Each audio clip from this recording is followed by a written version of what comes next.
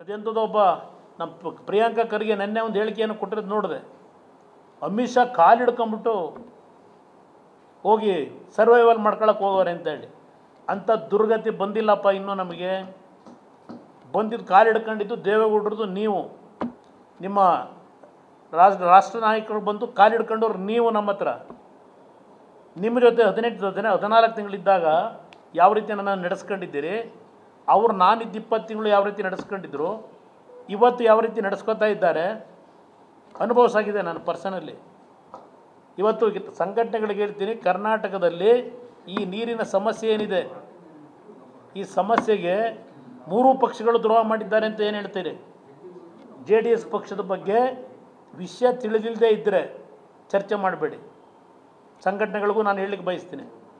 ಇವತ್ತು ಏನಾದರೂ ಈ ರಾಜ್ಯದ ಕಾವೇರಿ ನೀರನ್ನ ಉಳಿಸ್ತಕ್ಕಂಥ ಶಕ್ತಿ ಇವತ್ತು ಅವರಿಗೆ ಎರಡು ಸೀಟ್ ಇರ್ಬೋದು, ಮೂರು ಸೀಟ್ ಇರ್ಬೋದು. ಆ ಧ್ವನಿ ಅರವತ್ತು ವರ್ಷದ ಧ್ವನಿ ಇದೆಯಲ್ಲ? ರಾಜ್ಯಸಭೆಯಲ್ಲಿ ಮೊನ್ನೆ ತೊಂಬತ್ತೊಂದು ವರ್ಷದಲ್ಲಿ ನೋಡಿದ್ರು ಎಲ್ಲ ಟಿ ವಿನಲ್ಲಿ. ಏಕಾಂಗಿಯಾಗಿ ಮಾತಾಡ್ತಾರೆ. ಮಲ್ಲಿಕಾರ್ಜುನ್ ಖರ್ಗೆ ವಿರೋಧ ಪಕ್ಷದ ನಾಯಕರಲ್ಲ ಅಲ್ಲಿ, ಫ್ಲೋರ್ ಲೀಡ್ರು ಕಾಂಗ್ರೆಸ್ಗೆ? ಯಾತಕ್ಕೆ ವಿಷಯ ಎತ್ತಲಿಲ್ಲ ಅವರು? ನೀರು ನಿಲ್ಲಿಸ ಉಳಿಸ್ತಕ್ಕಂಥವ್ರು?